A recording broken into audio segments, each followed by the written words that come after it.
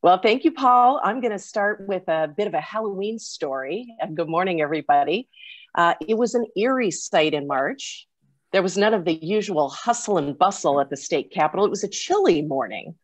And my father, Mike Dillon, and I were being escorted up the walk to the state capitol by a CHP officer and a sergeant at arms.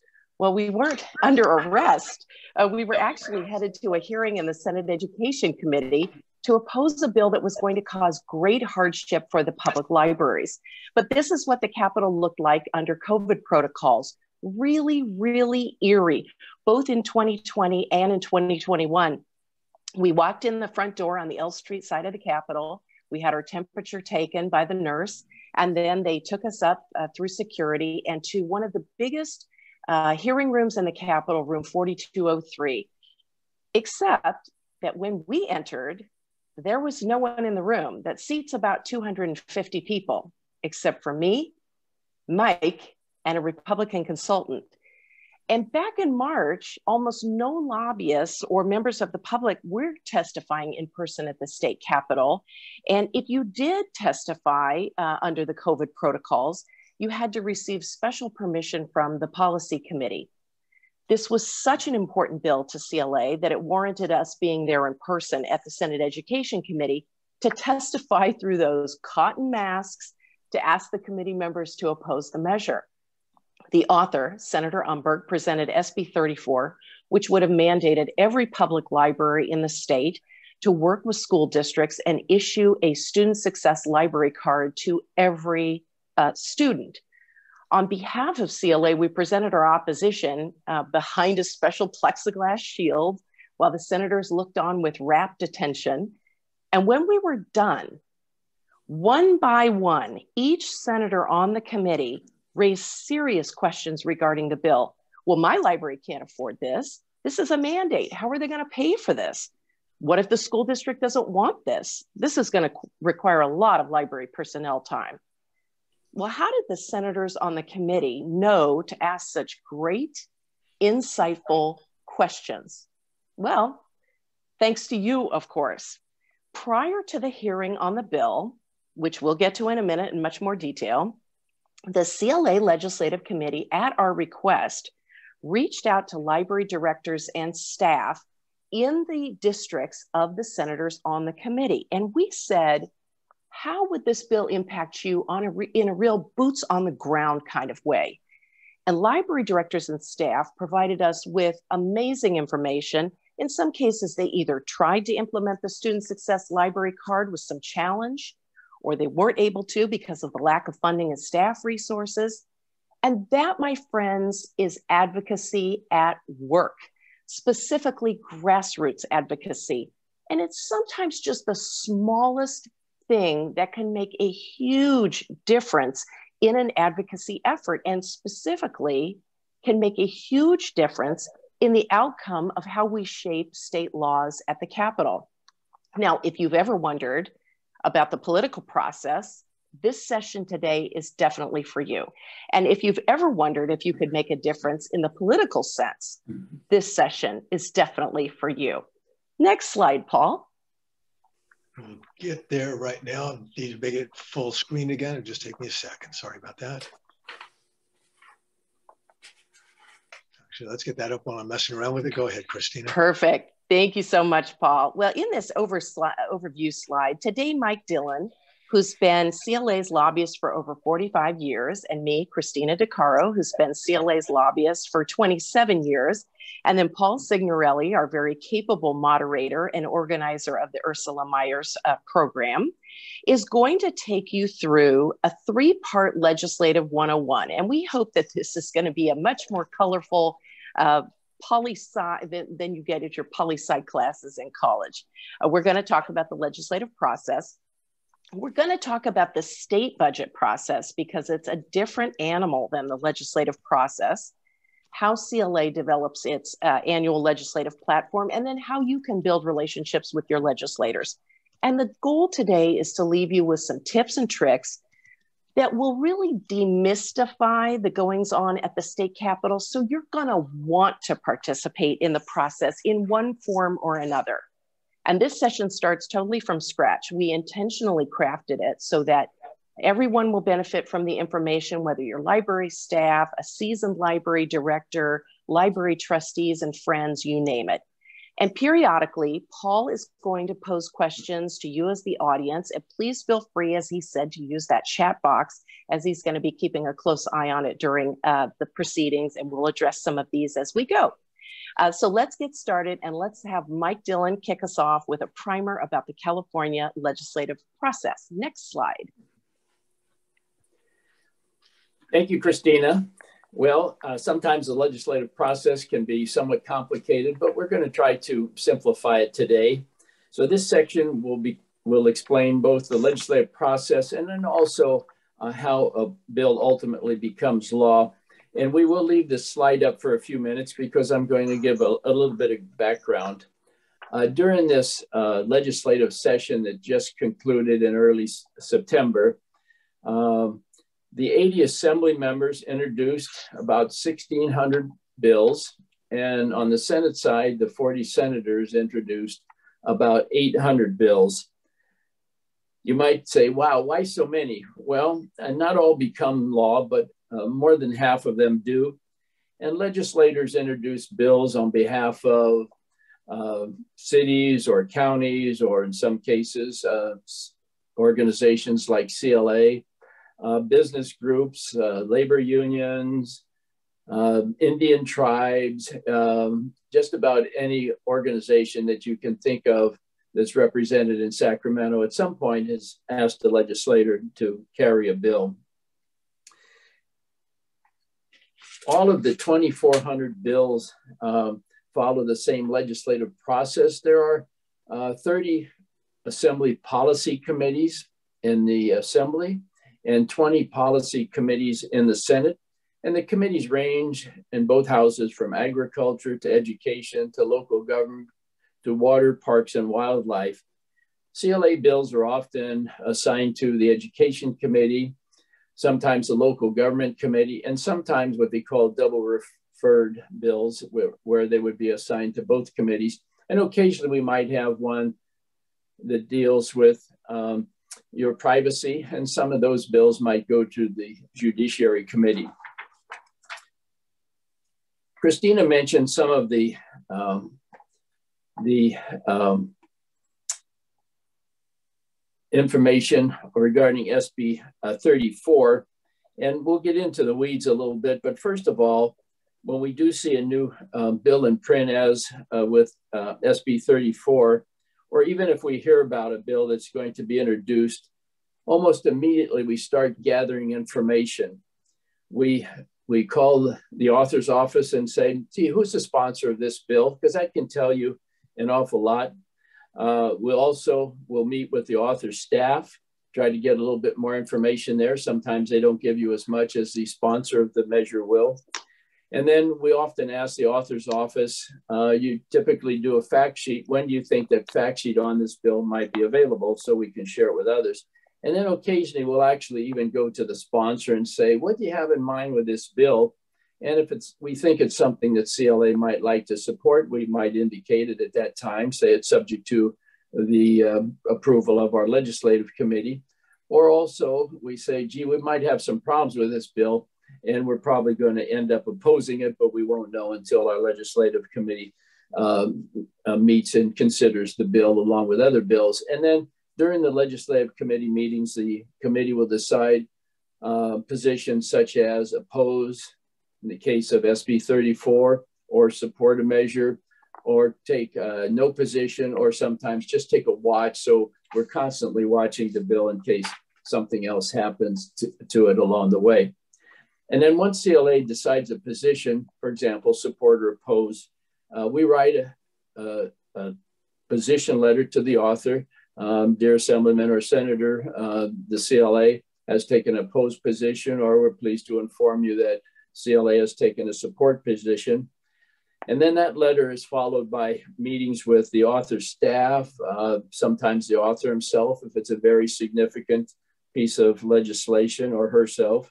Uh, the committee consultant who writes the analysis, uh, we will meet with them and express CLA's interest in the bill. And sometimes uh, we might um, work with others like cities, counties, or special districts if it's a bill that might involve uh, all of those local governments and not just CLA. And then on major bills like SB 34 that Christina mentioned, we will meet with every member of the committee. We write personal notes to those members of the committee. Uh, if we can, we'll catch those members personally. And then, uh, as Christina mentioned, uh, we call out the troops, and, and that means you. Uh, in the case of SB 34, as Christina mentioned, every one of those committee members had something to say. And that was because of all the work that she and I had done educating members and their staff, as well as receiving uh, letters and information from the libraries in their district. That was particularly true in rural districts like Senator Dahle, who has a lot of districts up north. Uh, his libraries do not have a lot of money. And so his, his antenna went up right away and he started checking with some of his libraries and the feedback he, he got was just wonderful. If a bill fails to pass the policy committee, then um, sometimes that's kind of the, the end of our work. Um, but we always keep an eye on it just in case something might happen to the bill along the way. Sometimes a bill can be what we call resurrected, and then it can take on a new life. If the bill is passed to the Appropriations Committee, the third block um, you see there, then our focus uh, shifts to the fiscal impact of the bill. Chairs of the committees will often say, Mike or Christina or another lobbyist, stick to the stick to the fiscal implications. We don't care about the policy in this committee. That was already dealt with in the policy committee. So they try to make you stick to the fiscal impact one way or another. And about 80% of the legislation introduced has some fiscal impact one way or another.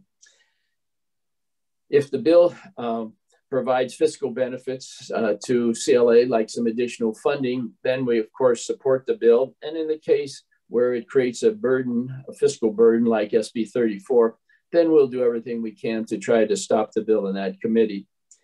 And if the bill has a major impact, uh, then we will lobby all of the members of the committee there. But the fiscal committees uh, are much more difficult to lobby uh, because, again, you're not allowed to talk policy very much. So in some cases, we will get, uh, again, members of the library community to write letters and urge the, their uh, members of the committee to oppose or support the bill. And then these days, once a bill reaches the assembly floor, or some cases the Senate, if it's a bill that started on that side, it's almost certain to pass to the other house. In some of the old days, when the legislature was more balanced, there was often a chance that maybe you could stop a bill on the floor. But these days, very, very few uh, bills um, are stopped on the Senate floor. I mean, excuse me, on the Assembly floor. And then once the bill is in the other house, in this case, the Senate, next slide, please, if you would, Paul.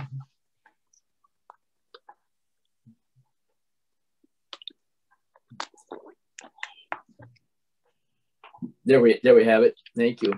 Um, so uh, essentially, uh, we start all over again um, in that house, and then um, we do just what we did on the assembly side.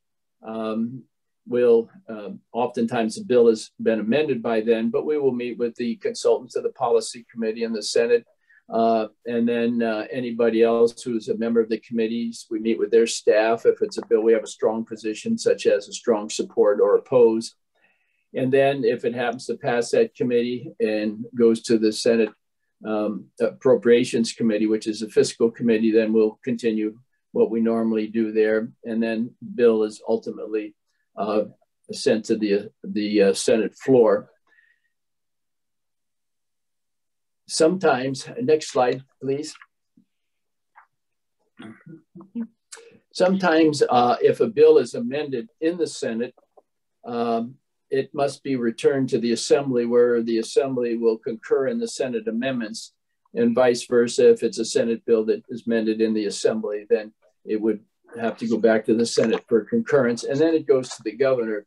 In the event uh, that a bill happens to um, go through the second house without any amendments, then it heads uh, straight to the governor. um, I'll pause there and see if there's any uh, questions. Uh, so if you do have questions, feel free to put those into the chat and we'll read those uh, out loud for everybody else and for anybody who's listening to the recorded version. Uh, Paul, before we uh, move on, I would just like to add one other thing that's kind of important there, particularly as it involves the library community. And that's what we call the legislative timeline. We don't actually have a slide on this, but it's extremely important when we're asking you for help. Um, the deadline for introducing bills is usually the second or third Friday in February. So all of those 1,600 assembly bills and uh, 800 Senate bills had to be what we call put across the desk and assigned by, with a number um, by uh, the, the few days after that deadline in February. And then bills uh, must be in print for 30 days before they can be heard. So, as a consequence, um, you're looking essentially at the end of March or all of April for most of the bills to be considered in the policy committees. And that typically means that on major bills, when we ask the library community for uh, their support, meaning write support letters or oppose letters or contact members of the committees. You really have to do it um, prior uh, to that time. For example, uh, for a bill that might be scheduled for hearing in early April, which is most of the bills in April, you would want to contact your uh, senator or assembly member two weeks ahead of time to make sure that the committee consultant has enough time to include your library's uh, support or opposition to the bill, or even sometimes you as an individual. So that's that's very important.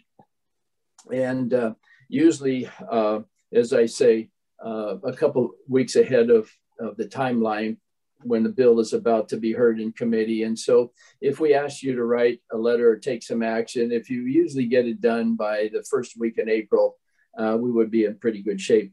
There are other important deadlines, uh, but this first com committee uh, deadline is by far the most important. Thank you.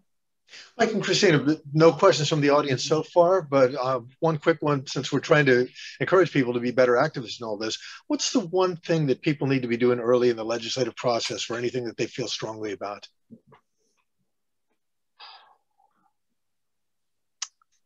Christina, do you want to handle that one? Well, uh, you know, early in the process, I think it's just mostly to look to our alerts. Uh, we call them the news from the Capitol reports. Uh, and Mike and I try to put out alerts. We'll put one after out after the governor has introduced the budget. Uh, we'll put one out uh, when the budget subcommittees start meeting, and I'll talk about those in a little bit.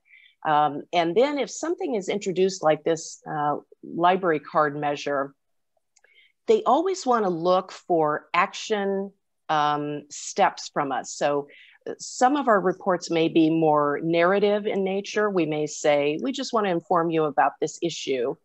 But then there are going to be, like Mike says, hard and fast deadlines. Well, we're going to need a letter. So we will put information out there that says, contact these people. These are the key people that we're looking to um, uh, make a connection with. These are the talking points, et cetera. So I think sometimes our news from the Capitol bulletins are the most important. And so if you don't subscribe to CALIX or some of those other uh, CLA, um, you know, messaging and, and networking um, email chains, you would definitely want to make sure that you're connected there. Great, thank you so much. Ready to move on? Great, I sure will. Okay, so on the next slide.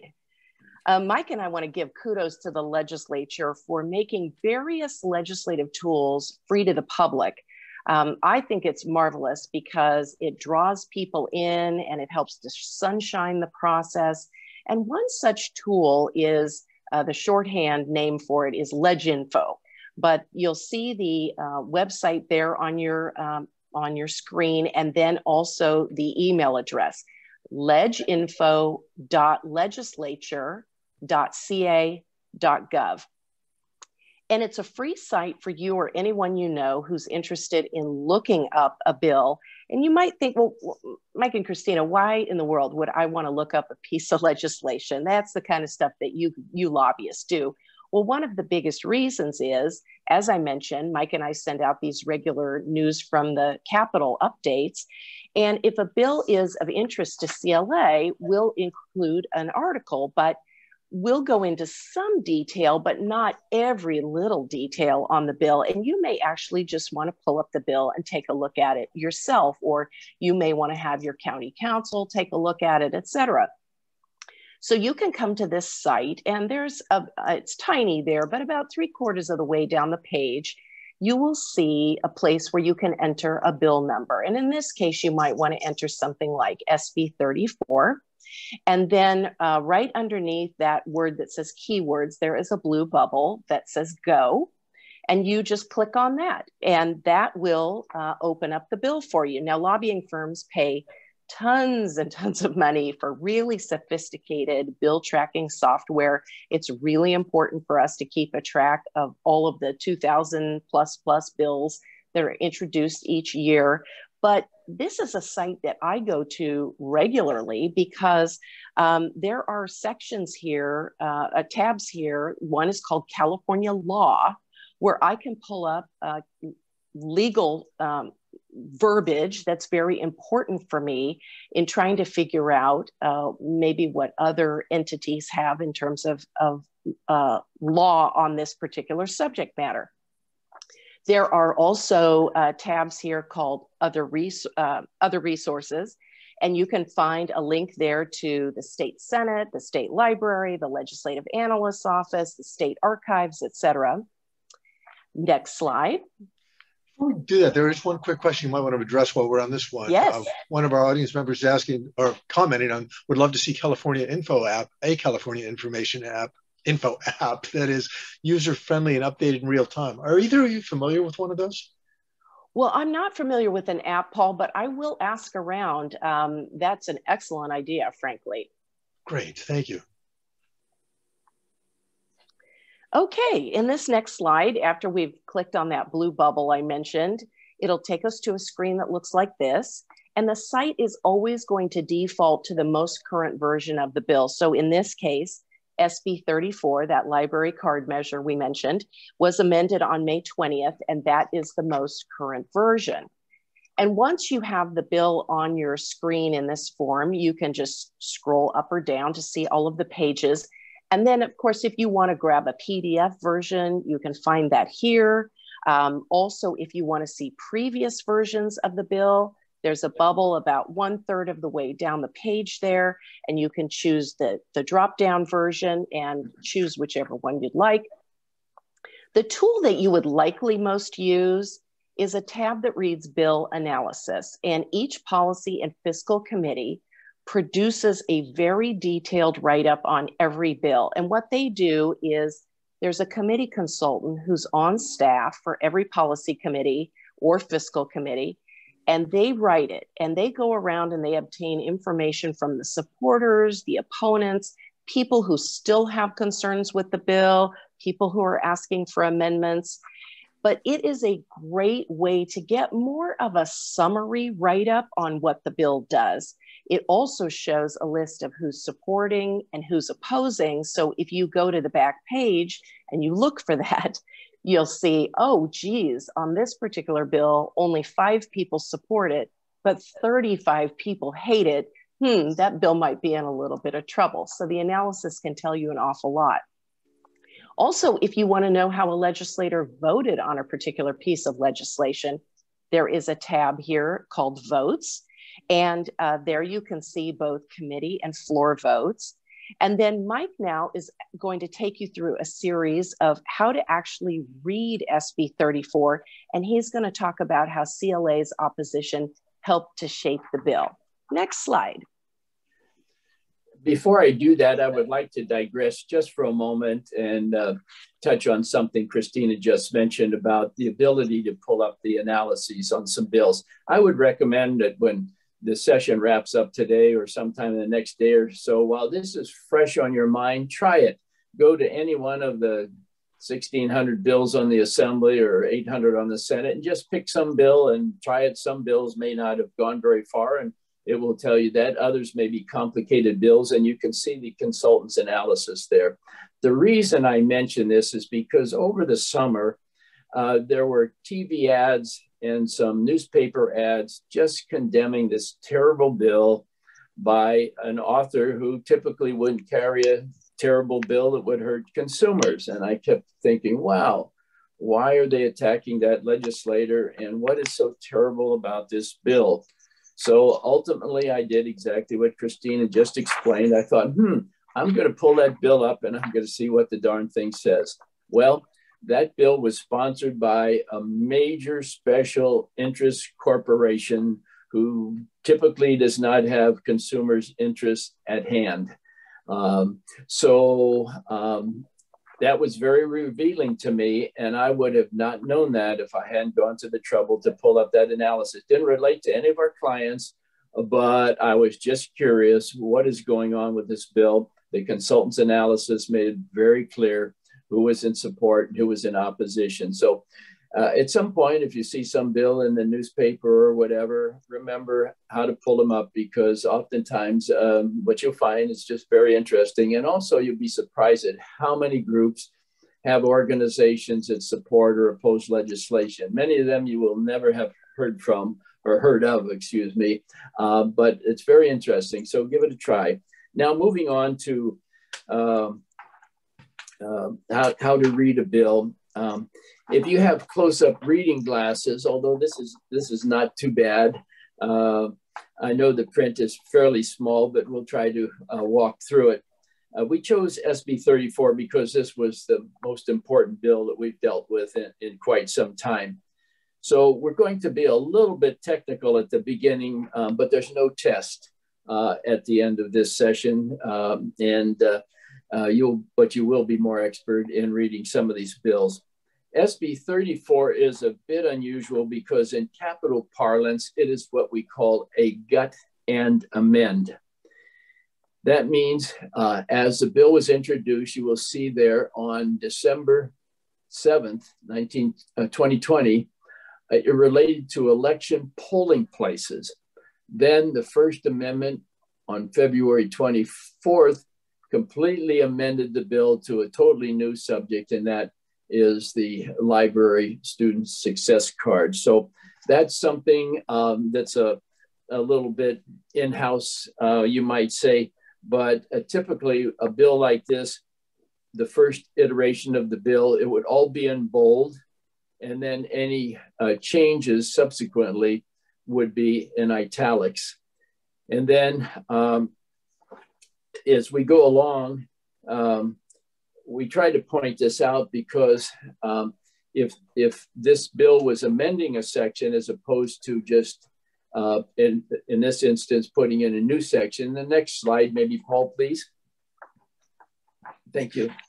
Um, you you can see there um, that the the at the bottom says the mission of the public libraries is to provide. So that's the people of state of California do an act. If that was an amended bill, it would say the people of the state of California uh, amend, uh, propose to amend this particular bill. Um, next slide, uh, Paul, please. Okay. Um, and here you can see that uh, the bill on line 27 there it, it uh, contains the totally new section there, actually on line 22. It shows uh, that this section is added. Oftentimes you will see that that uh, is amended in this situation. And future um, uh, um, amendments to this bill will show in bold.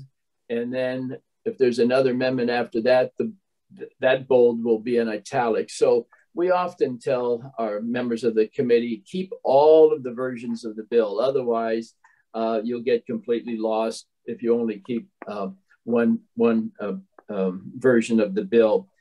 But uh, if all else fails, the Legislative Counsel does a wonderful job in explaining what the bill does. And so each time the bill is amended, they will actually explain what the new amendments do, as well as, as what the current version of the bill does. Uh, next slide. So um, this uh, version of the bill um, one of our biggest concerns was the requirement for a memorandum of understanding. So if you look down on line 33, um, it says the memorandum of understanding shall be for five years. Well, some of our libraries that have entered into these agreements on a voluntary basis may have done it for three years or two years or not put a provision in there in terms of a specific requirement. So that was a concern to the legislative committee. And so uh, this version of the bill on April 6 uh, amended that out. Uh, next slide.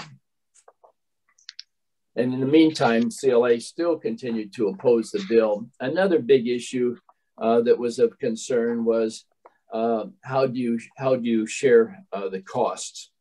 And um, so that also was a big issue because libraries were traditionally telling us that um, in the voluntary agreements that they had done, about 70% of the costs, such as attorney fees and trying to get the information from the school districts for individual students for the library card, that usually a, the library ended up doing about 75% and sometimes the schools uh, 25% in terms of, uh, of um, attorney fees and that type of thing. So uh, this this issue or online on online um, one starting there uh, it at least included a provision for how costs would be shared. But cla still continued uh, to oppose the bill because it continued uh, with the with the mandate. Uh, next slide.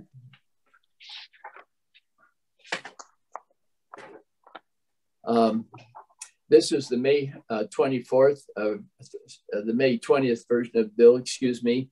And um, as a result, really, of all the collective voices uh, that um, came from you and um, our, our, opposition and specific information that we were able to get from the, the legislative committee members, um, we just kept hammering a mandate, mandate, mandate. And as, during that hearing that Christina mentioned, um, the very first policy committee meeting, um, virtually every member of the committee was saying, why are we mandating this on the libraries and the schools as well? Because the bill also impacted small school districts. Again, using Senator Dahle as an example, all of his, most all of his school districts are small and most of his libraries are relatively small. So he had a, he had major concerns with the mandate and we continued to push on that concern uh, throughout the entire process. So ultimately, uh, as you see there um, on line four, um, the bill became contingent upon of state funding, and then the Department of Education would provide grants to districts and libraries that applied. So again, not a mandate, but that they applied for this funding. And then um, with this amendment, uh, CLA actually switched our uh, position from opposed to a support and we so indicated to uh, the author and other appropriate uh, uh, people that needed to be aware of that change of position. Uh, but since no funding was actually provided in the budget, uh, then uh, the bill um, failed to pass the Senate floor where it remains. It did pass out of the Appropriations Committee with that amendment, um, but it remains on the Senate floor and will probably stay there unless at some point the governor were to include some uh, money in the budget for these agreements. Thank you. All right, next slide. Thank you. I talked earlier about the free access to the uh, LegInfo website. Well, there's also uh, very nice free websites courtesy of the Senate and the Assembly. And again, it's free to anyone who wants to access it.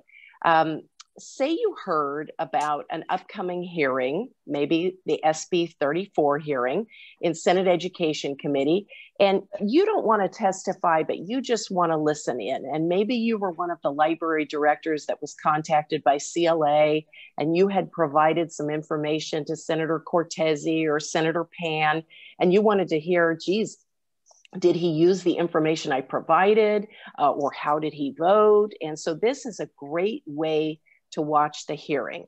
Um, it's incredibly easy. On the day of the hearing, you just go to the Assembly website, www.assembly.ca.gov, if the bill is being heard in the Assembly. Or you go over to the Senate side, www.senate.ca.gov, if the bill is being heard over there. And you look on the right hand side of the home page where it says today's events. Now, if you were to go to the Senate's page today, the legislature is not in session, so you're not going to see a whole lot.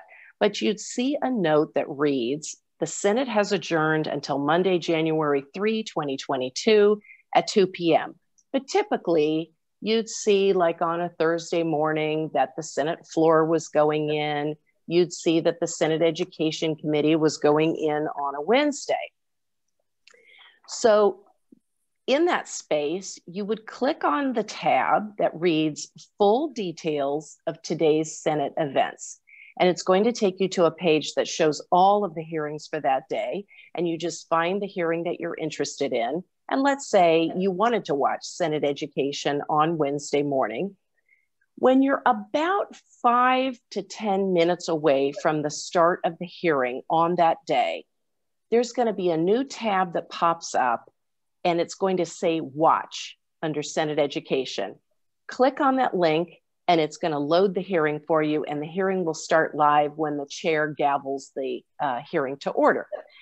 Often I find that if I go to that page too early, you know, say a half an hour before the hearing starts, the watch tab will not be readily present. And so that's why I suggest if you're going to go look for that hearing, just wait until about five to 10 minutes before it starts, and that tab should be there for you. All right, next slide. Now, the legislature has also made it easier uh, for the public to testify directly in legislative hearings at the Capitol. And I'm going to speak first about testifying in person. This is what Mike and I have done essentially for our entire careers until we had that thing called COVID, and that just changed everything. Um, but when lobbyists testify in person, this is essentially how it works. We find out if bills are going to be heard at the hearing in file order or sign in order. And file order means that the committee secretary for the policy committee or the fiscal committee has listed the bills for that day in numerical order. And then the authors of the bills are required to show up in that order to present their bills. Now, then there's a thing called the sign in order, and I don't love it because it's pretty hard to follow, particularly if you're following at home on a laptop or something. What sign in order means is that the sergeant at arms keeps a list over on the side. Um, he's stationed in each committee room, or she is stationed in each committee room. They put out a sign in sheet and say the hearing starts at 9 a.m. Well, you might see Senator Connie Leyva come rushing in at 8:50 in the morning and she signs in first. And then maybe Senator Dodd comes in and he signs in next.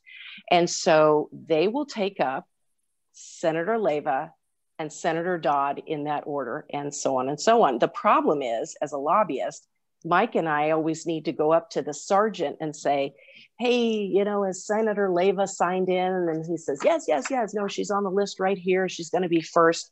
And then he shows us the rest of the list of who's signed in. And the committee will go in that order then. Now, on the Assembly or Senate side um, site that we were just talking about, when you go to look for the hearing, you can also click on a tab that will give you the agenda for the day. So that's going to tell you the order of where your bill flows, the one that you're interested in. Now, an example of testifying in person, um, Senator Dodd carried a really important bill for CLA a few years ago. Mike might talk about it in a second. And CLA was considered the sponsor of that bill. So prior to uh, the hearing in the policy committee, um, CLA will decide who would be a great spokesperson for the measure, who's going to be able to hit the expert points in their testimony, who's going to be able to make that great impact. And then we work with the author's office to try to identify those two key people. Now, in the case of Senator Dodd's measure, he's very close with a local official who he works with a lot. And he said, you know, I'd really love it if she could be one of my lead witnesses because he's from Napa and she's from Napa. That just made a lot of sense. She's a dynamic public speaker, uh, really sharp, very connected. And we knew that she would do a heck of a job defining the local needs for the for the bill. The second person we chose was Mike because he has so much history on this issue. Uh, he would be able to respond very um, appropriately to all of the questions that uh, he might get from committee members. And we have a sense most of the time as to how the hearing might go because we do a lot of legwork leading up to a hearing. Um, Mike and I will have been behind the scenes working on support letters, uh, talking to legislators and their staff, trying to encourage them to vote for the bill. We're collecting data and lots of local uh, examples, as we did with the library card bill. We're working with the committee consultant who's writing that analysis that I talked about. And we're just trying to cover all of our bases. And then the author is going to open with a brief statement on the bill. Uh, talking about its importance, and then the two lead witnesses for the support will go next. And usually, each witness only gets about two minutes, which can be very frustrating. So you have to be tight and concise with your messaging. And then after the lead support witnesses present their testimony, the chair is going to ask, are there additional supporters in the room? And those folks are only allowed to state their name, their affiliation, and your position on the bill. And you'll often hear the chairs use the term uh, we're ready to hear from the Me Too's in support. And so that means at that moment, you would go over to a microphone on the side of the room. You would say, Good morning, I am Sally Smith. I represent the Friends of the Library group from Sonoma, and I am in support of the measure. If you're not affiliated with a group, that's not a problem at all. You can just represent yourself and say, Good morning. I'm Sally Smith. I'm a resident of Napa and I'm in support of the measure. But if you try to say something more than that, oh, heaven help you, because the chair will shoot you down like you can't believe. They'll yell things like, no, thank you, next, we told you, just name an affiliation, please. Um, we always find that when you go against the uh, instructions of the chair, it never works out well for you. So always follow the decorum that, that they lay out. And so we're hearing very, with, very loudly and clearly from you follow orders if you want to be successful, right? That's exactly right, Paul. You got it. And then the lead opposition witnesses are going to come forward. We're going to repeat that process uh, all over again. And then they're going to debate the bill and the vote will be taken. And next slide. There's also a new way to testify on bills, and that is via the telephone. And it has made the legislative process so much more accessible to folks who cannot come to the Capitol in person. And so this is a really great option for you. During COVID, because so many of us were not supposed to be in the building unless it was some sort of special uh, accommodation, like Mike and I talked about with the SB 34 hearing, we were all, as lobbyists, really relegated to the phone system. And they've got it working now uh, really well. Um, I give them uh, lots of kudos for that. If you go back to the home pages for the Assembly or the Senate, they have a tab at the top of each of their pages, and it's a tab called Committees.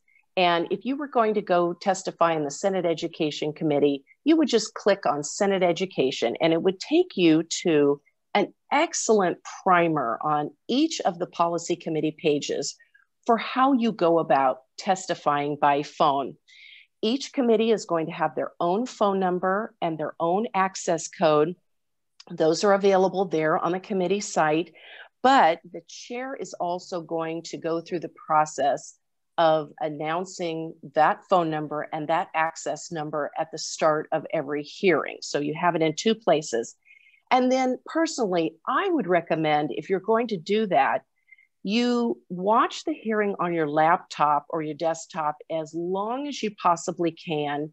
And then when it looks like they're getting close to your bill, you can start calling in on the phone because otherwise, then you have to hang on the phone all day. And some of these hearings will go four, five, six hours. That's not unusual. So um, that's a tip for you. And then feel free to let us know in the chat box if you have ever um, testified in the Capitol, if you've ever used our new phone system. How did you find the process? Um, was it hard to navigate? Was it easy? Was watching the hearing like watching paint dry?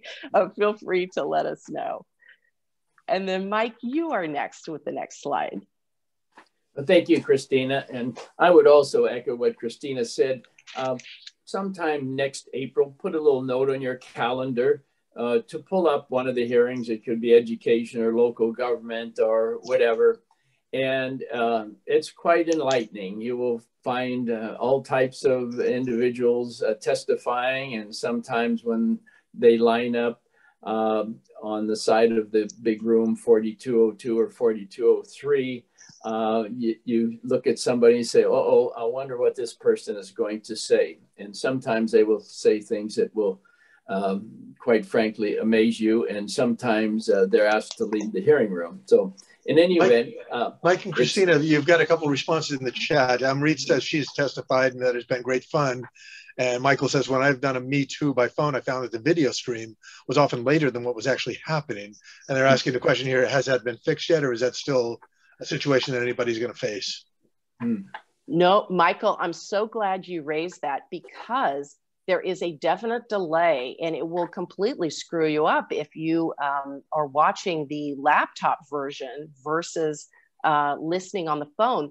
The one that's live is actually the phone. And so if you wait to call in um, when you're watching on your laptop, you may miss the bill. It's incredible. So they have not fixed that lag and it's quite frustrating. So like I say, watch the the hearing for as long as you dare on your laptop and then transfer over to the phone, start calling in, and you hear the whole thing live on the phone. And then uh, there's operators who will give you a designated number and they'll say, uh, number one nine, your line is open and you'll say, uh, Good afternoon, Madam Chair. This is Christina DiCaro representing the California Library Association. We're in strong support of the bill. Thank you. And then that's it. Um, and then they'll take you uh, take you out of the queue. So, um, Michael, right on. You're absolutely right. And Emery, thank you so much for testifying. That's fantastic. Thank you. No further questions from our participants at this point, Your Honors. Mike, back to you. Great. Thank you. Well, on the screen before you, uh, it says library construction bonds. Uh, much of my uh, Christina's and my efforts every year is trying to get additional funding for library programs through the budget process that Christina's going to talk about uh, in a minute. And that is really a heavy, heavy lift. But occasionally we'll get a bill like SB 34 on the legislative side, and that becomes a, a heavy, heavy lift as well.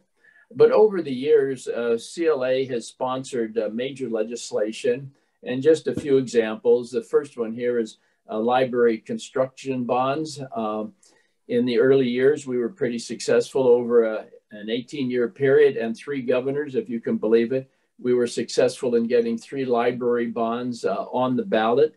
Uh, the first two were approved by the voters, and unfortunately, uh, in 2006, a 400, uh, excuse me, a 600 million dollar library bond in 2006 uh, was not approved by the voters. Um, but throughout this whole process, uh, getting uh, the library community involved was probably the big takeaway. In particular, uh, particular the roles that the library um, community and um, also the library community at large uh, played. Friends of the library, uh, all library staff, because this was all hands on decks hundreds of you wrote uh, letters in support. You contacted your legislators. Uh, you explained your facility needs, uh, which were huge.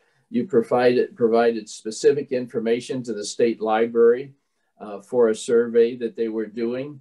And uh, based on the information you provided, the state library uh, did what they call a needs survey. And at the time, that was over $4 billion and then they went to a lot of trouble to break it down by assembly and Senate district. And that was huge. So Christina and I would use that information when we would go around and talk to legislators, and you could really get their attention when you would say, Senator, Assembly members, we see here that you have uh, about three or four hundred million dollars in needs in your um, among all of your libraries in your Assembly or Senate district, and it was really helpful in letting us get that measure enacted.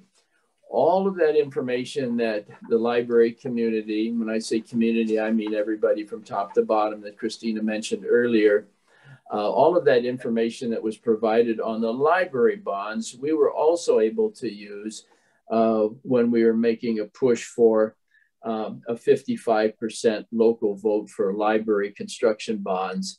Um, um, excuse me, for uh, Paul, if you would um, go to the next slide. Thanks. I, I, did not mean library construction bonds there. Um, we used that information there, but we also were able to use all of that information when we were asking for the passage of library construction bonds with a 55% local vote. Our feeling was that um, with all of the competition for bonds these days and um, and uh, libraries trying to get construction bonds for libraries alone was just going to be a, a really uphill battle. And so we thought, well, maybe we could get 55% for a local vote like school districts have, although school districts did it by an initiative, it wasn't through the legislative process. If we were able to get that, then that would be a huge uh, event for public libraries.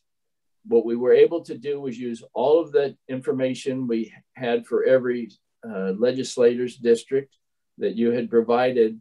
And we said, these, the needs are still there.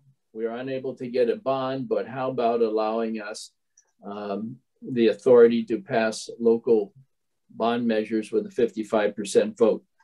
Again, uh, that was kind of an uphill battle. And um, one of the criticisms we faced was, gee, why are we doing 55% vote for libraries only? Cities, counties, fire, police, etc., all need facilities as well. So since then, uh, almost every year, uh, we make an effort in conjunction with cities, counties, and special districts to, to try to enact 55% uh, for a local vote. Next slide, Paul.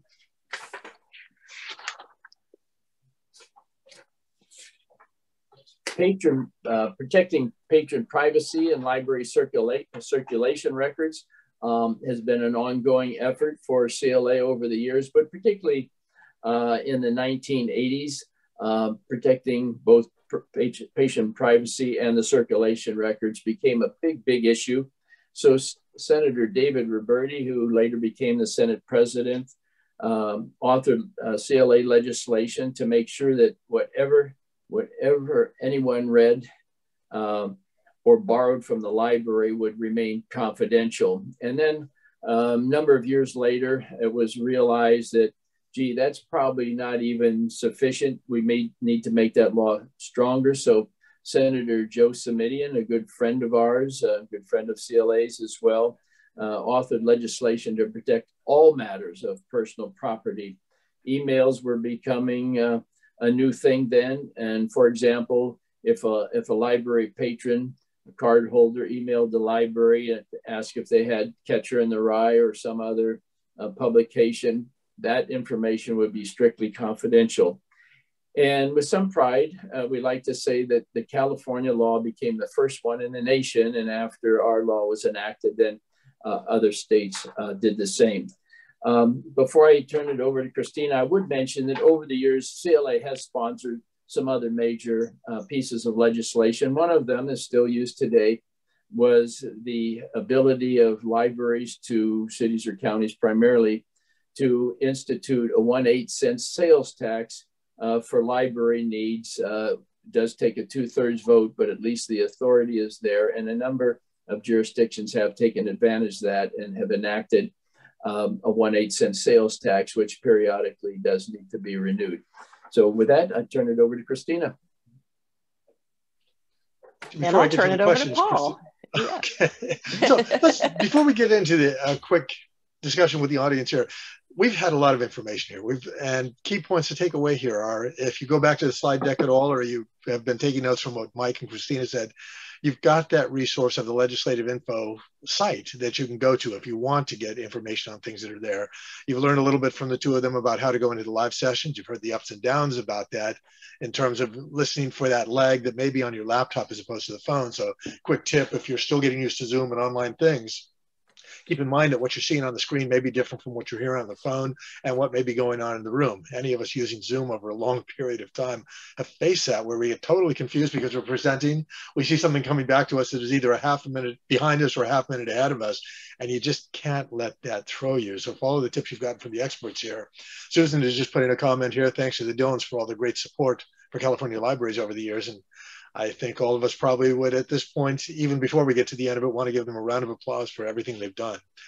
Now, with that virtual round of applause going, let's get a little bit of feedback from you in the chat. Uh, and I see for Mary, huge fan, yes. Mike and Christina, you don't want to see that because your heads are going to explode and then the, the whole picture here will be high. But clearly you have fans out there who are deeply appreciative. Let us look at a couple questions here. Respond please in chat so that we can share this with each other. What experience do you have engaging with the legislative process? If you want to tell a quick two or three line story in there, I'll read that as they come in. If you have none, just put none in. If you have experience and you just want to leave it at that, say have experience so we can paste this and not have a lot of silence. But for anyone listening to the archive version, we're going to have about 60 seconds of silence while we wait for people in the live session to put those comments in.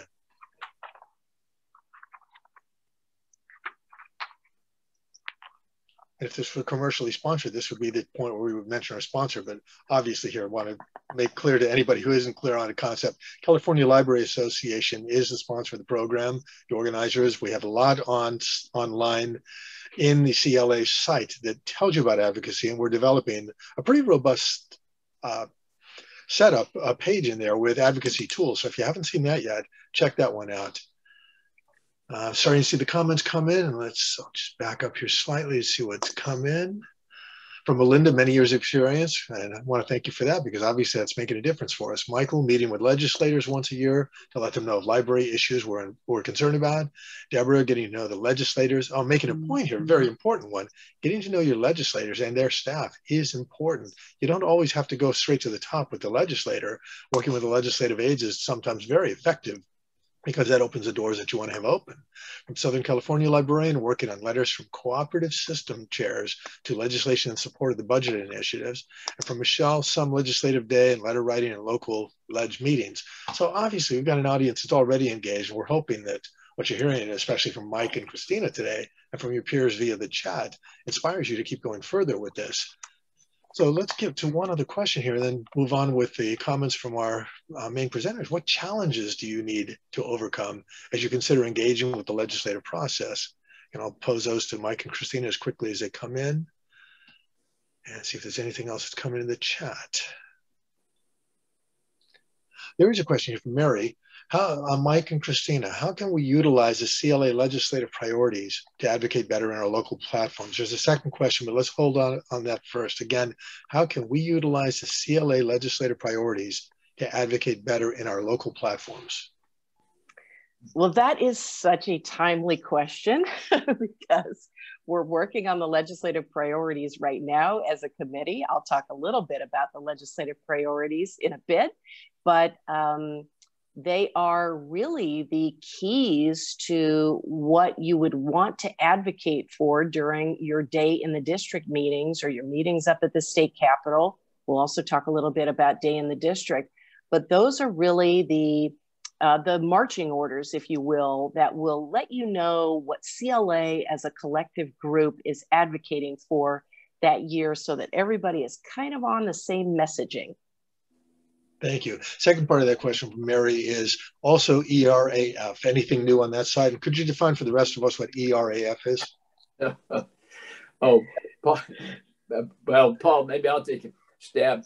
ERAF stands for ERAF, and uh, that's a, a, a, term that's hardly used anymore. Uh, years ago, when Proposition 13 passed, a lot of local governments uh, lost uh, a lot of their property taxes. About 26 or 27 of our big libraries, like Orange County, Riverside, and others, that had uh, had instituted property taxes just for the libraries years ago, uh, lost about half of their property tax funding, and other special districts were affected likewise, as were cities and counties. And part of the, it's very complicated, but and the bottom line is over the years, uh, some of the local governments, including some of the special libraries were trying to get some additional funding, some offsets, and so forth. And so the uh, the ERAF, the uh, forgot what the E stands for, but Melinda put it in for us, Mike. It's yes. the Educational Revenue Augmentation Fund. Thanks, That's Melinda. It.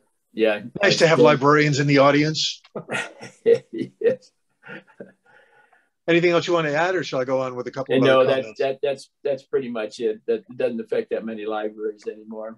Thanks. Sarah's coming with a comment about uh, experience, including coordinating with our county leadership, getting library issues into the county's legislative uh, priorities. And understand here, whether you're in the live session or watching the archive version, one of the real gems of reading these comments is it makes you aware of other things. That's why we oftentimes talk about our, our partners in a, pro, in a program like this as being our co-conspirators in learning. Because as Sarah talks about coordinating with county leadership and getting those library mm-hmm. issues into the county's legislative priorities, gives the rest of us an idea of what we might also be doing. Deborah has come back in with a comment about sometimes I think people forget how important it is to get your direct knowledge of your meetings with legislators and staffs back to the CLA Legislative Committee and to Mike and Christina. And in case we don't uh, remember to show you the final slide, there is a slide in the deck that refers you back to CLA's legislative page. So you're librarians, you know how to look stuff up and you know how to track us down. So keep that in mind also.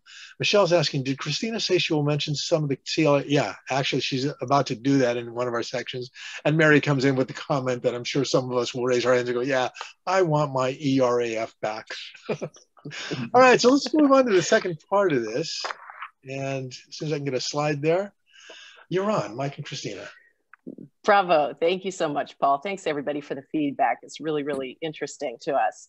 Um, so while all of the craziness is going on with bill hearings, there is a completely different process going on simultaneously, and that is the creation of and debate over the annual state budget. And Mike and I thought it might be helpful for you to understand the difference between the two processes. And it's particularly important to understand the budget process because so much of CLA's priorities, particularly of late, are focused on getting more funding in the state budget for various library projects. CLA is a very unusual client in that they require us to work on both tracks, both legislative and both uh, budget. I have colleagues, Mike has colleagues uh, that will never have any activity in the state budget just by virtue of who they represent as a client. Uh, next slide, Paul. So Mike explained the legislative process and how bills need to be uh, moved through the committees and floor by certain hard deadlines. Well, the same is true for the budget process, and some of the dates are even embedded in the Constitution or are completely immovable. Now, starting right about now, Governor Newsom and his team uh, from the Director of Finance are putting together the 2022 23 state budget. And they're taking a look at various state and federal uh, financial projections in order to determine uh, how much money might actually be available for expenditures starting in January. And as you know, things can fluctuate really wildly, even in a uh, within a given year. And so, the state is due for another recession correction, and most governors uh, try to be very pragmatic when they roll out that January budget, just trying not to grossly overspend, just in case.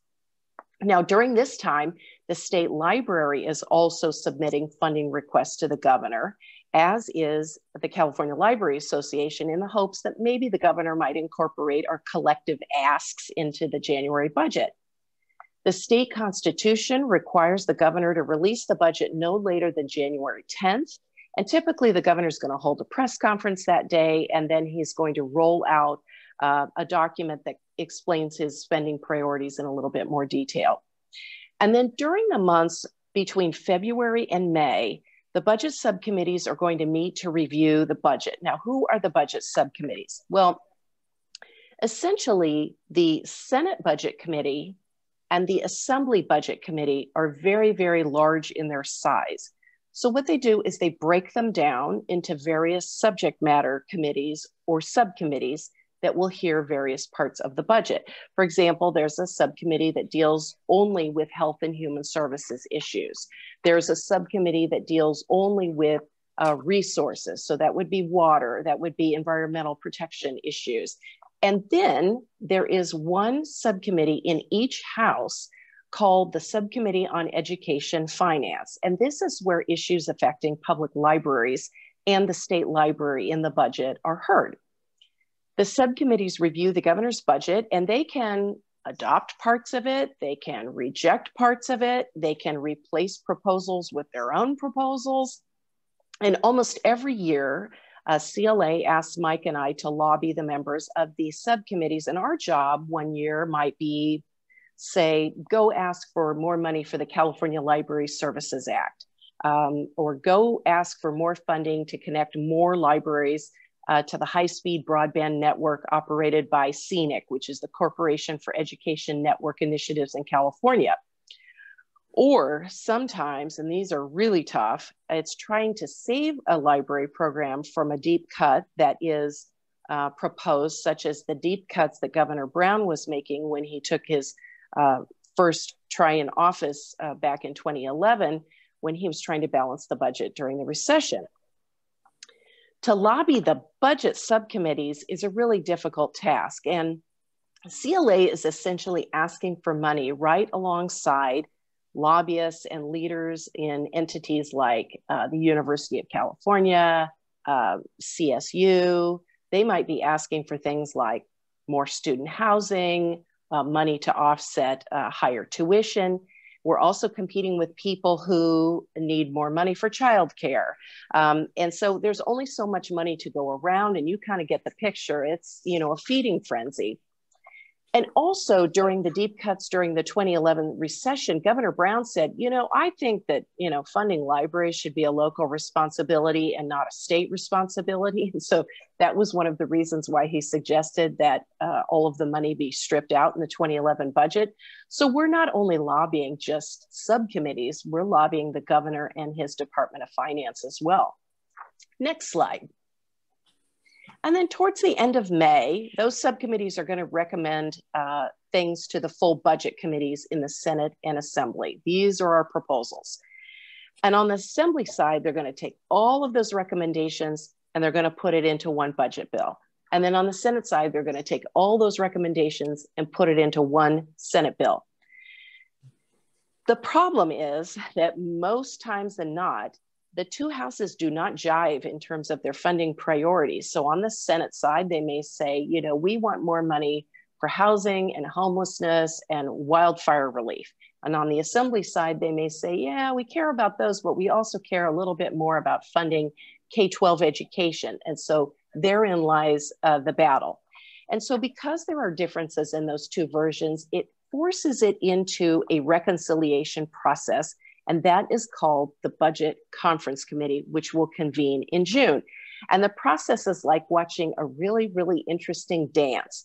You have the governor's Department of Finance come up and sit at a front table, and they're stressing the importance of backing all of the governor's proposals. And then you have the legislative analyst who also comes forward to sit at the front table, and they're supposed to be the sort of objective, um, nonpartisan entity that reviews the governor's budget. And then you have a, a select group of assembly members and senators who are going to sit on the dais and kind of hash this whole thing out. There is no public comment at this point. Um, Mike and I could not go up to a microphone and try to influence the proceedings. We have to do it all behind the scenes, uh, keep pushing, pushing, pushing uh, our issues. And then finally, when the conference committee believes that they have the makings of an agreement, with the governor, the Democrat leadership, and the committee itself, they will create one main budget bill and then these related trailer bills, you sometimes hear them called, and they implement various provisions of the budget and then they send it to the floor for a vote. Next slide. The legislature is required to pass the state budget uh, via the rules of the Constitution by June 15th, or they forfeit their pay. Uh, the governor then has until July 1 to sign or veto the budget that was sent to him. And he also has the authority to go back into the budget and blue pencil or reduce certain items, which can be totally heartbreaking for a lobbyist like me and Mike, who have worked so hard to put something into the budget. But this year, there was so much agreement between the two houses and the governor there was no need for the blue pencil notations, thankfully. All right, next slide.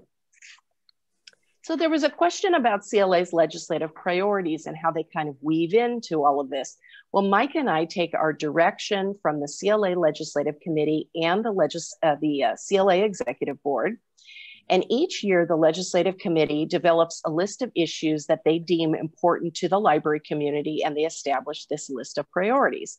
And these are important for several reasons. First of all, it's Mike and my marching orders. So, whatever the uh, association would like, this is what we follow. And then it defines for the CLA membership what issues CLA believes are critical to fight for and advocate for.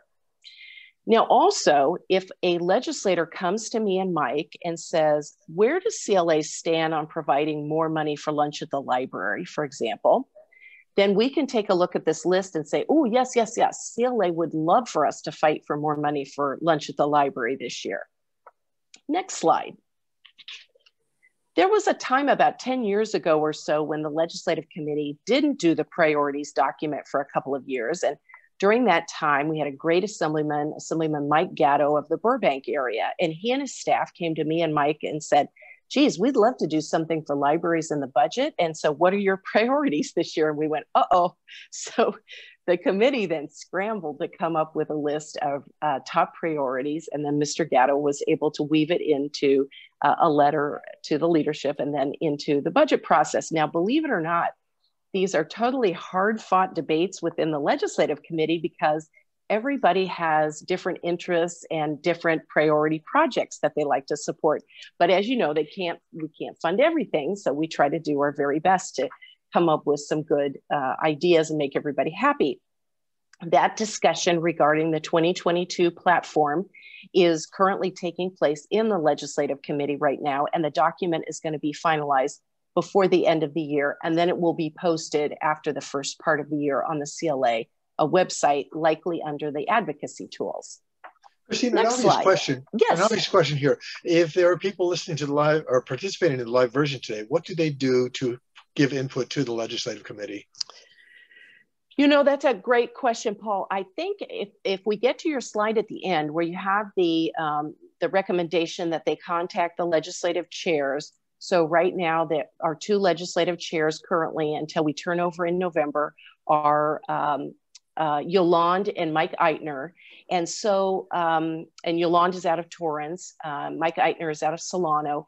Um, and they've just been fantastic. And um, they would be able to take feedback from you if you were interested in weighing in on, say, boy, that that lunch at the library, I could serve so many more kids if I thought that you know we just could get a little bit more money in the budget so i think uh, those two folks i don't want to bombard them with a lot of information uh, and outreach but I do think that they're um, they're probably very interested in hearing from the field right now. Thanks. Holly's been great about putting some of the links in here. Holly, if you can grab the one for the legislative committee and put that in the chat, that would be wonderful. Okay, great. Thanks for the next slide. Um, let us give you an example of one of CLA's biggest budget successes in order to give you a sense of how this all works. Uh, last year, the legislature was cutting programs in the budget, anticipating that the pandemic was just going to have a disastrous impact on the state budget. And this year, there was that massive surplus due to better than anticipated tax receipts, plus money we were getting from the federal government for COVID bailout uh, issues. But sometimes there's as much drama and conflict when you have a budget that is flush and in budgets where you're doing a lot of cutting. Now, the governor, to his credit, has been a big supporter of public libraries.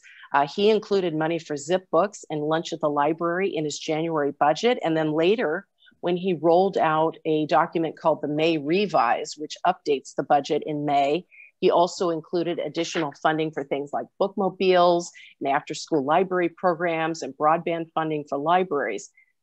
This year, the Senate Democrats released a budget proposal of their own called the Build Back Boldly package. And when it was shared with the Capitol community, State Librarian Greg Lucas sent it to me and Mike and said, I assume you've seen this.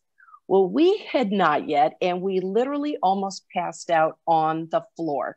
We could not believe it. It contained 1 billion, and that is billion with a B, for library infrastructure projects. And this proposal was instantly the biggest thing that we had ever seen in its size and scope for public libraries in, in our career with CLA. Amazing.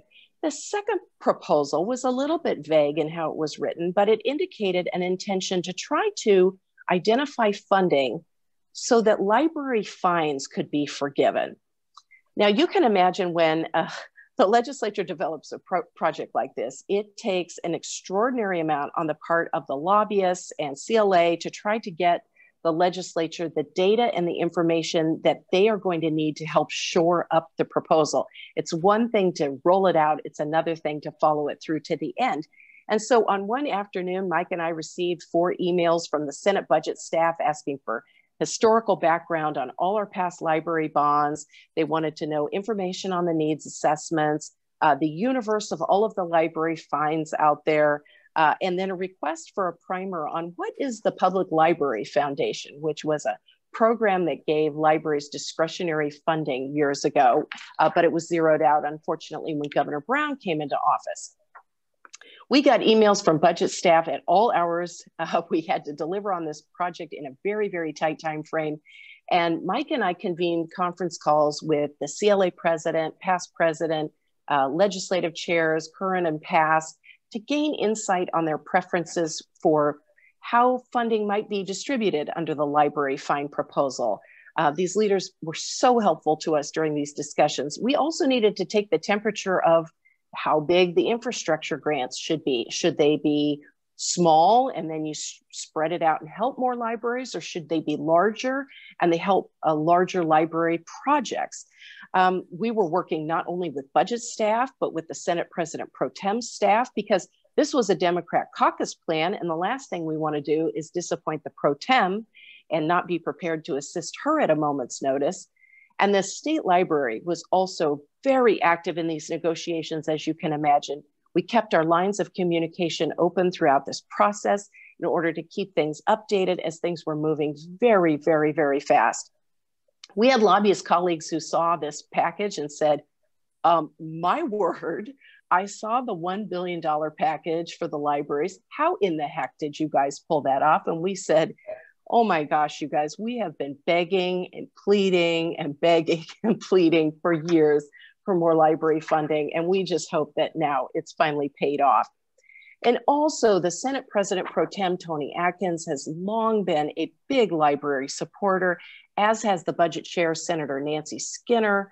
And so we thank them and Senator John Laird, who was the chair of the budget subcommittee, who heard these issues, and of course, the state librarian for all of his hard work, and the governor. So uh, bravo. In the end, the Senate negotiated this proposal with the governor and the assembly. There was a collective agreement to provide a lesser amount for the library infrastructure grants, but the budget that the governor ultimately signed on July 12th contains more than $500 million in total funding for the public libraries. Now, the library fine proposal was put on hold due to its complexity, but overall, just a bang up budget. Uh, next slide, Paul. Before we go there, Christina and Mike, let me suggest yes. a couple things here. Let's do some quick catch up and reconnoiter for our last 10 minutes here. One is it would be I would be remiss if I didn't point out the underlying theme that Mike and Christina just hit, which is when you're working as an advocate at the legislative level, it's not all about just making the phone call and being done with it. It's the long-term relationships that Christina has just described that led to that $1 billion library infrastructure project. So if you're in this, think about being in it for the long haul. And if you are taking short-term things and focus on those issues where you could be most effective, but understand the more you're at it and the more you build those relationships, the better you're going to be. Circling back to a second thing here in terms of the um, putting forth of the CLA priorities. Uh, Mary observed that actually the timeline we have is too late to work into the local platform there in Placer County to discuss with their lobbyists, which is going to be in the first week of November.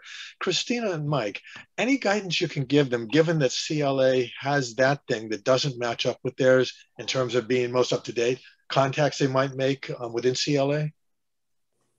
I think the only thing that I would suggest, Paul, is that um, in the case of, of, Mary's situation, she could just wait until she saw um, a news from the Capitol alert from us that said, you know, we need support on, uh, you know, say a library bond measure or uh, you know 55% measure. And then she could take that to her uh, county board of supervisors or her city council and ask them to pass a resolution which is commonly done and then that resolution is then forwarded to the legislature and so if that comes in in like may excuse me march and april when we're doing legislation that's got a lot of weight to it um, because it's an official document from the city or county so i think that's the way really to do it um, and then, you know, unfortunately, just look for information after the first of the year about day in the district. Great, thank you.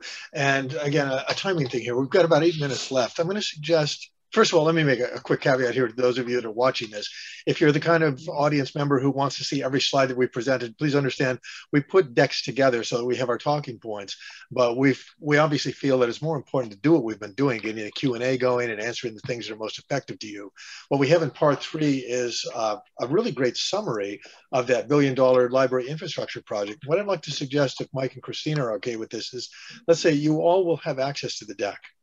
So look at the deck that has those slides that really go into the details of the $1 billion as a resource. And if that interests you, go back to it. I suspect probably in our last seven or eight minutes, we could focus on two or three things under Mike and Christina's guidance. What I can do is just flip real fast through these. And you can stop me if there's something that makes sense. Does that work for you, Mike and Christina? Yeah. Paul, I think that's great. And I think, um, as you say, we'll just leave those slides there highlighting all of the victories this year. Some of that's gone out in our news from the Capitols. And if you want to jump right to outreach to legislators, uh, we can uh, start talking really quickly about some of those tools that we suggest for how to build those relationships. Okay, stop me when we get there. All right, there.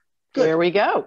Thank okay. You. Well, I think, you know, just very quickly, what we'd like to say is please do not think that legislators are some sort of mythical creatures that um, you know you are not supposed to engage with they put their pant leg on one leg at a time just like you do so they are your representatives in sacramento and it is your right to be able to outreach with them and build those relationships they're your dentist uh, they're a, a, small business owner. They may have sat on a city council or a school board, but they're people mm-hmm. just like you. So please, please, please keep that in mind. You know, sometimes people think that they're um, you know, special or wouldn't want to hear from me. And that's just absolutely not the case.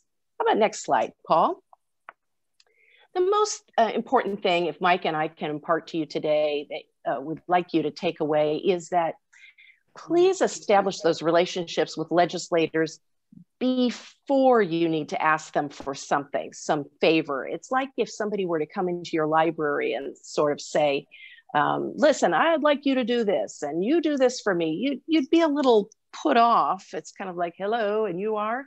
So go ahead and craft that relationship first before you have to ask them for something. And Mike and I always try to do that. Legislative turnover doesn't always make that really easy for us, but that's always the optimum goal. Now, uh, what could you do? A, a really easy one the easiest one is to make sure that your legislator is placed on your library's mailing list. And uh, that could be the library's mailing list or the mailing list for the Friends and Foundation group. Let them know the great services that you're providing. So many of the legislators come from past local elected official experience, so they do have some familiarity with the programs that you provide. But we can't tell you how many people say to us dumb stuff like, well, everything's online now. Why do we need libraries? Or, oh, we have Barnes and Noble. Why do we need libraries? I mean, hello. So please put your legislator on their on your mailing list. Um, Mike and I are constantly blown away by the fabulous programs that you have created. It's just awesome stuff. So that's a really easy one. How about the next slide? Uh, we've talked a little bit about Day in the District uh, as a reference. Well, let me tell you a little bit about what it is. It was designed to encourage library directors, staff, and supporters to request a meeting with the legislators in their district. If you've ever come up to Sacramento for a lobby day, you know they can be quite busy, quite crowded. Sometimes you don't get that time with the legislator that you would hope to get. Well, if you schedule a meeting with them in their district office, you are going to sit down with that legislator and likely for 20 to 25 minutes. And it's going to be a really quality uh, conversation where you can get into the weeds about some of your library issues. Right now, some of these meetings are being done virtually, but it won't always be that way. Um, and I'll talk a little bit more about this um, program in just a second, but uh, people who participate in it absolutely love this advocacy tool. Uh, next slide. The other way that you can get involved, of course, is to send a, legislate, a le letter to a legislator when you see one of the alerts uh, that Mike and I send out. Uh, we always try to give you some talking points um, that you can use in your letter. And now that you know how to look up a bill, that could also be very helpful to you. We would request that you try to customize it a little bit. There's nothing um, we don't make that impact when we get 30 of the same letters. Legislators just go, oh, I see this is the same, same thing over and over again. So say it's a bill that would help um, libraries build more uh, uh, libraries and with 55% bond, et cetera. You might explain your library's built in 1940, it's in disrepair, needs completely new wiring, and you don't have enough room for the children to sit for story time. Um, your letter should always be very respectful. Uh, take that tone always. It will backfire if you do anything uh, less than that. And if a letter is nicely written and on letterhead, it's very likely that you could receive a call from a legislator's office who says, Hey, my boss is going to vote on this bill in about a week. And we saw your story about the library built in 1940. Now, that's pretty stunning. And we're guessing that's a library in pretty bad disrepair my boss would like to say a few things about that during committee. Do you mind if you and I have a little chat about that? So that is dynamic advocacy. Uh, next slide, Paul. Now, another way to get them involved, uh, legislators involved, is to invite them to your library to read to children during uh, National Library Week. This creates a, an awesome photo opportunity for both you uh, the library, and then the legislator themselves. And please, please, please post it to social media because they love it. It's a great way to make a friend. And again, we're trying to make friends first before we need to go ask them for something. Um, some library directors, as been mentioned, also attend city council or board of supervisors meetings, and they can be active on that level as well. That's not necessarily affecting Sacramento advocacy, but it uh, shows support for the libraries in your area. Next slide. Um, Mike and I want to expand just a little bit quickly on how to best structure a meeting in the district with a legislator. We can't stress enough how important pre-planning is. Pre-planning is going to make sure that the meeting goes smoothly, everybody can play a role, determine who's going to take each part, um, who's going to do the introductions, who's going to do the messaging, who's going to do the ask at the end and paul am i okay on on the session or do you in terms of talking for a few more minutes go about another minute or two we'll okay. do a wrap up here and again for those okay. of you that, that want more uh, background there are a few more things in the slides that will be helpful to you if you want to come back to it you got it. I try to keep these meetings to five to six people via Zoom, maybe, and about seven to eight uh, people in person. Um, that's a good manageable group. And of course, you're going to forward all of your information to the scheduler ahead of time, including the fact sheets, but do not assume that your legislator is going to have time to read the fact sheets before you sit down with him or her. So you're going to want to start with from scratch when you sit down. You're going to say, Senator, I'm wondering, are you familiar with the Lunch at the Library program? Let us tell you a little bit about it and then paint them a picture. How many students come in and sit for lunch at the library? Are parents allowed? Do the parents use wraparound social services when they're there at the library? What could you do with more money? How many more kids could you serve if you had a little bit more money? And then again, the ask at the end designate somebody who will say, Thank you, Senators, so much for your time. You know, as you've heard, this is a program with a lot of pressure on it, a lot of students needing meals during the summer. And if we were to have more money for this program, uh, we could sure do a lot and serve a lot more children. And we hope that you will support a budget ask uh, when uh, CLA forwards this to the legislature this year. And so, this, at, yes. At this point, let's remind people there are a few more tips in there and some wrap up tips, but there's a question I want to make sure we don't miss before uh, we wrap this up. The question is Is there a list of legislators that are influential to library issues, like chairs of key committees, et cetera?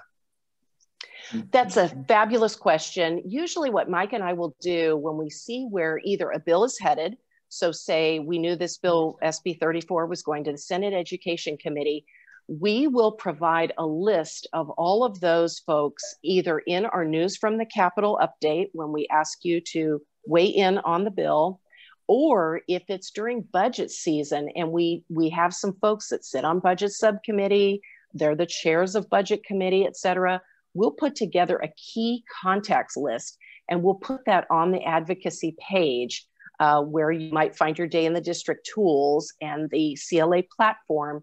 And you'll have all of those tools. And we may even reach out to you if you are in a legislator's district um, who sits on one of those subcommittees. We might say to the folks in Monterey, hey, you're pretty important this year. You're in Senator John Laird's district, and he's the chair of the Senate Budget Subcommittee. So um, you might be engaged that way as well. So yes, we'll put all of those tools after the first of the year, maybe around end of February, first part of March for people that are uh, heading out the door for day in the district. And that's all I have, Paul we know that there's some selected resources we want to put up. We know that some of you have to run off to your next meeting, so we will wrap this within the next minute. If you have other questions, put them into the chat, please. Remember that the series that we're doing here continues into November and December. It'll always be the second, always, those last two months. It'll be the second Wednesday of the month. The next two sessions will be two hour sessions. In November, it's Patrick Sweeney from EveryLibrary talking about uh, what you can do as a grassroots advocate out there and what every library has been doing to set examples. In December, we've got some good surprises that are in the works for you. The series will probably continue into next year in, a, in an updated version, but we want to see these first four sessions flow out and see how they're working for you and fine tune them as we go. So last minute questions for Christina or for Mike? And Susan is asking about the charges. There, there is a charge for the November and December sessions. Mm-hmm. It's listed on the calendar listing of the CLA page. Off the top of my head, I believe we're charging $25 for members, $35 for non-members, and there's a reduced fee for students. Again, we're gearing this toward California advocates, California members of the library community, and we hope that you join us. Mary's commenting, so great, thank you. Way better than, ooh, way better than my poli sci courses at Chico a million years ago. yes, yes for us and for poli sci. Crystal saying that was very informative. Appreciate the practical, actionable takeaways. Mike and Christina, one line wrap up that you want to leave people with to, to get them thinking in terms of what their next steps are. Since Christina's been uh, covering quite a bit, I would just add get to know your legislator uh, they think very highly of libraries. Years ago, uh, one of the big libraries in Los Angeles invited a, assemblyman down who had been very helpful with some funding. They actually made a bookmark that said, Thank you, assembly member, for all the work you do on behalf of libraries. So things like that are just huge. Christina? Oh boy, Paul, I, I would say that we've never encountered a legislator who says, Boy, I really don't like my library. Everybody loves libraries. So please don't be intimidated to reach out to them at any time and just introduce yourself. Thank you. Our last challenge to all of you on this um, we won't hang on to the recording very much for this, but if you want to stay for one or two more minutes, the action question is what will you do differently in the next week or two?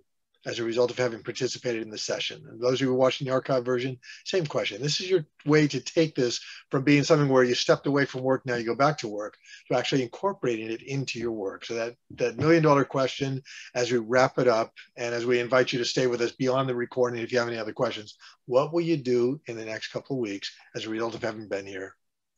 Thank you so much for staying with us. We'll end the recording when you see that go off. Uh, obviously, you don't need our permission to be dismissed, but we'll see you again soon. And those of you that want to stay, we'll stay a few more minutes. So thanks a lot. Hope you have a wonderful day. Thank you, everybody.